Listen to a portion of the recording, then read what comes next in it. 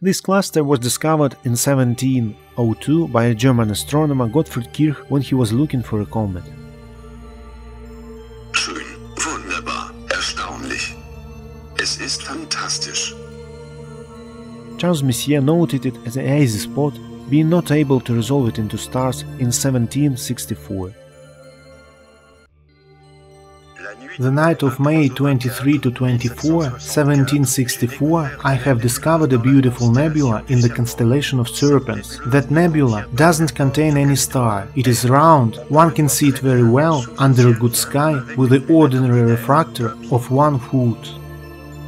In 1791, William Herschel counted here up to 200 individual stars.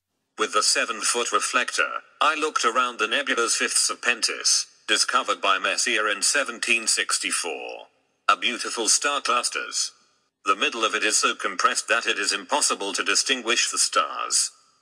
Messier 5 can be found next to star 5 in Serpens with a binocular.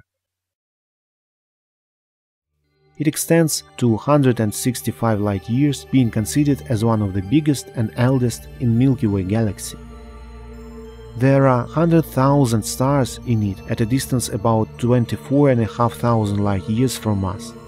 105 of these stars are variables, and about 90 stars are variable of RR Lyrae type, helping astronomers to determine a distance in space.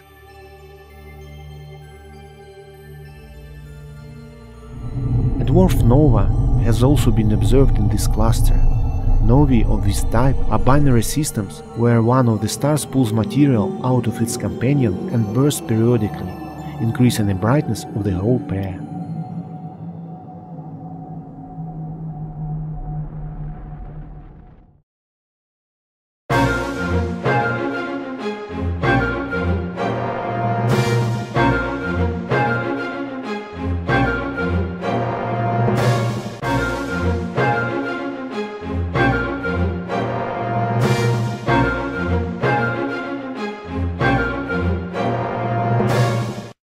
D'être poursuivi.